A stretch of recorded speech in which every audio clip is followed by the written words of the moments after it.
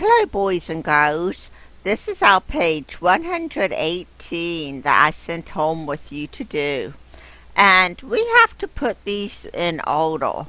The very first thing I would like you to do is write your name at the top of the paper because that way I know whose paper it is that I'm looking at. Now let's look at each of these pictures and let's see what is happening. What is happening in this picture right here? It looks like the paint truck is painting these lines on the road. So the road's almost finished. They're painting the lines on it. What is happening in this picture? Well, the lines are not painted yet, are they? No, they're just smoothing down the top of the pavement, the tar and things on the road. What is happening in this picture?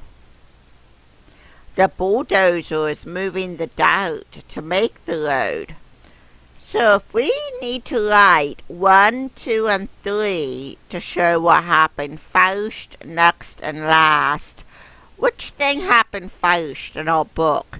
Did they paint the lines on the road? Did they smooth out and press down the tar? Or do they, did they move the dirt? They had to move the dirt, move the earth first, didn't they? So we need to write a 1 here because that happened first. What happened next? Did they paint the lines or did they smooth out the tar? They painted or they smoothed out the tar next because last would be painting the lines. So one, two, three. First, next, and last is the order that happened in. And that is all we have to do for this page. It was short and sweet, as they say. Thank you for joining me and have a great day.